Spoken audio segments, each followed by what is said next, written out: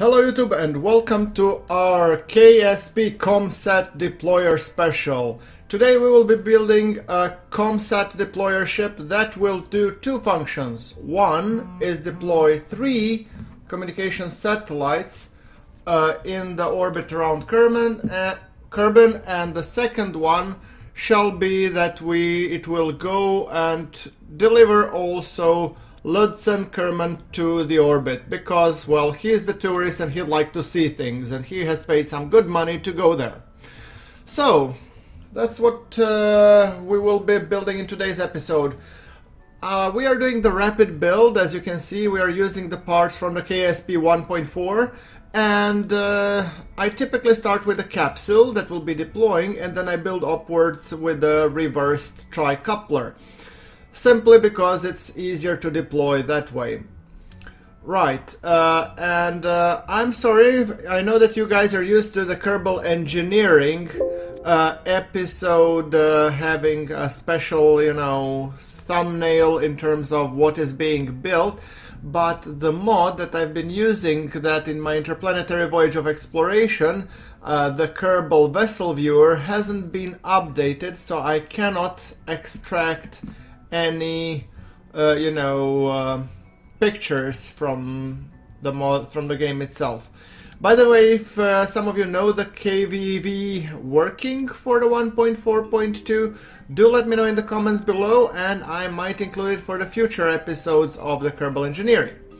Now, we, as you can see, I'm reverse engineering, we're basically doing three com satellites, each of them having four batteries, uh, octoc probe, and a little bit extra. So I think those will be rather simple relays that will be in low Kerbin orbit, and well, not too low Kerbin orbit, actually one kilometer orbit. I'm not going for any special, you know, panache like uh, Kerbostationary or anything like that. It's just a little bit lower orbit so that they are each in the range of each other and basically that they can relay in different ways. If you want to go real hands-on and uh, create stuff and communications network, go check out my uh, KSP RemoteTech series. It's a very old series, playing I think 0.90, but uh, it's still uh, it's still valid in terms of you know how it's properly set up the communications network the parts might be a little bit outdated and the values might be a little bit tweaked, but the principles stay the same. I'm gonna put it on the card that you will see right now. Okay, so with that thing in mind, we are continuing to build a deployer, and this is like a, just a transfer stage, or well, not, not technically a transfer, but uh, the stage that should get us to the desired orbit and then help us deploy. The satellites should circularize on them on their own. Okay, why cannot I do that? Previously struts would attach to these bad boys. I have literally no idea why is that not working. But okay, let's connect them like this. 2 by 2 that works for me. Okay, perfect. There we go. Also guys, do let me know what you think of uh, both the new format of the career mode. Last episode was a little bit extreme. I didn't want it to last the 3 minutes, I wanted it to last up to 10 minutes like this one. Uh, so I'm trying to keep uh, the format a little bit shorter and more, you know, informative and snappy, you know, so it kind of pops. Uh, let me know what you think about it and uh, also let me know what you think about this series because a lot of you requested the Kerbal Engineering. I am reinstating it back but in the previous uh, previous iterations I was running merely with uh, Kerbal Engineering because I had uh, a huge mod list and everything and I was assembling it. This time I'm assembling once again for you guys so that you can see all that I'm doing but I'm doing that uh, with stock components.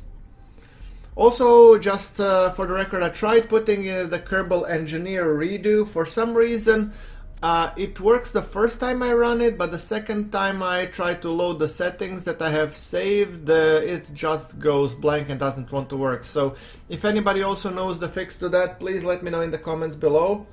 I know that KSP community is awesome, and I know that you guys who are watching this are also awesome. So if you do know, and I'm assuming some of you at least are playing with uh, Kerbal Engineer redo, so let me know. Let me know what would be the correct fix, and I will happily apply it. I am not yet sure if I will be applying visual enhancements, but uh, then again, we'll see.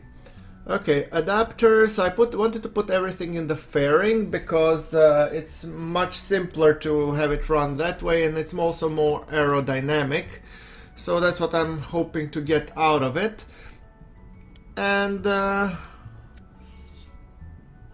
and then we want to be putting some big ass thrusters and big ass rockets that would hopefully do the thing.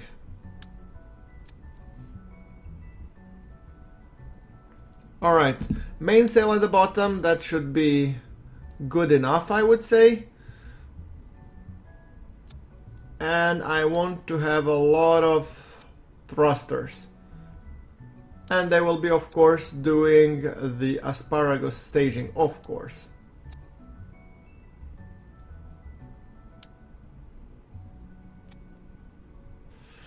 All right.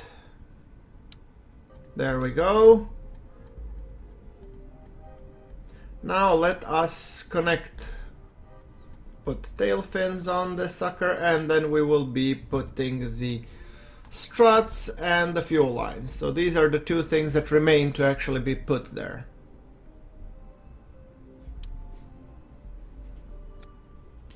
Struts.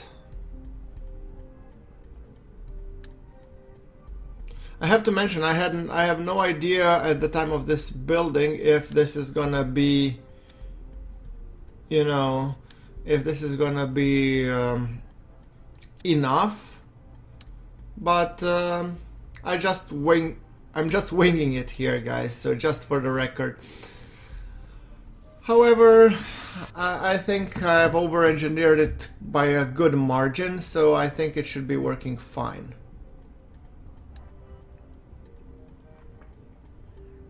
and then of course I messed it up so I need to redo the connections again so fuel connections no symmetry there you go you're going there, you are going there, you are going there, and then you, sir, are going to the main stack. Same with you guys. It's a little bit, you know, connecting, connecting, but hey, that's good enough. After all, this is KSP. Perfect. Now it's time to do some staging because staging is kind of important. You know, there's this little thing, it's called stage, and when you press it, rockets drop off. And when you press it, you want the right set of rockets to drop off, not the wrong ones, of course.